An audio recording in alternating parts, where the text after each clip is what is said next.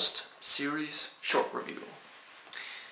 A plane crashes on a seemingly deserted island and the survivors have to work together in spite of very varying motivations and very different backstories to actually keep you know, surviving and to explore this island, which has some very interesting mysteries of its own.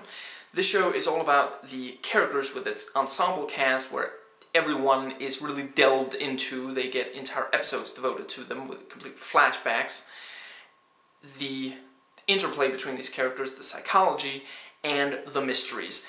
This show starts up a lot of mysteries, asks a ton of questions, and you're not going to get answers to all of them but if you really get into mysteries, it is a good show to watch. And it's also a show you'll want to pay really close attention to. You you may just want to sit there with a pad and a pen and paper, pad of paper and pen, and just note down every single little hint that there is towards the answers of these questions.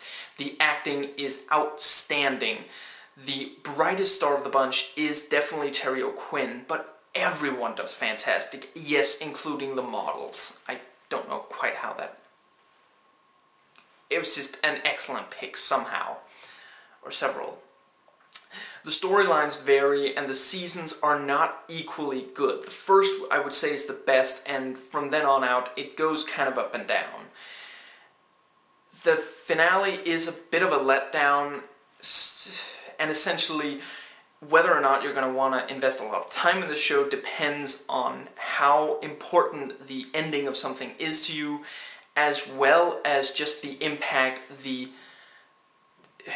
pilot has on you with yeah it basically sets everything up. And if you enjoy it just keep on watching because it's just more of that. At least keep on watching until you feel too confused by what's going on and all the intricacies of it or you get bored with the storyline at that time if you like this review and want a more detailed one, check below, it's there as a video response. If not, it'll be in the description box. Please rate and comment, and hey, if you like this video, that subscribe button's just waiting for you to click it.